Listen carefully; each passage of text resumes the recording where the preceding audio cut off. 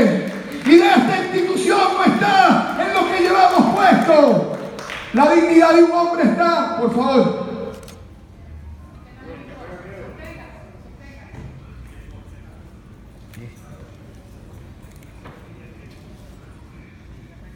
La dignidad de un hombre